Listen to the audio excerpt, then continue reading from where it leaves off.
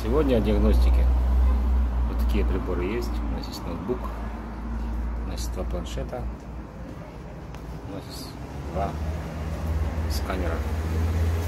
Первая машина, которая появилась, это был э, Mitsubishi Lancer, который можно было сканировать обычным планшетом с помощью программы. Мы сейчас покажем программу. Карсканер.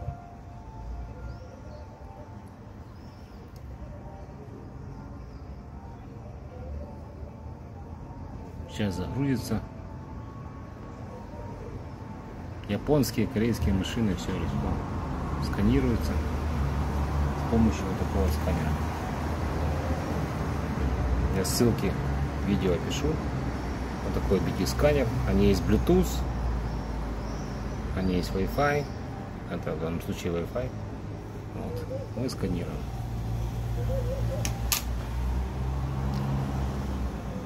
Все опции есть, все настройки есть. Дальше.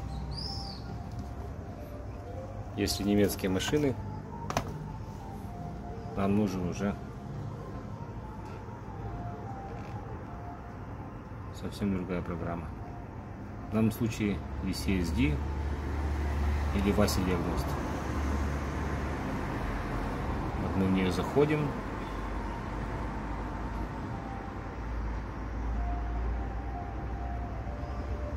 Она запустилась. Выбор блока управления, поиск неисправности и так дальше. Для этого понадобится вот такой вот шнурок, который можем купить на Алиэкспресс. Ссылки тоже будут под видео. Он абсолютно классно сканирует. И мы можем все ошибки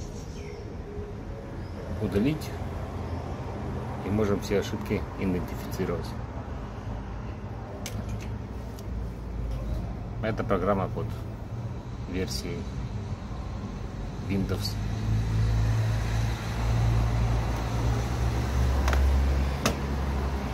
Третье.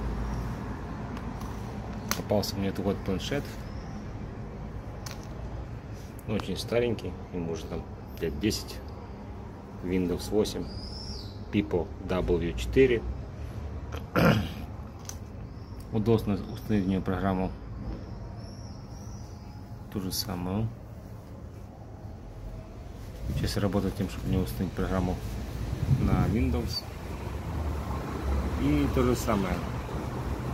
Мы можем сканировать, но уже не прибегая к большому ноутбуку. Просто взяв, сделав переходник с микро USB USB и можем сканировать наш автомобиль. Дальше, как только мне получится установить на нее версию э, для Windows, для Volkswagen Skoda, я выложу новое видео. Всем пока.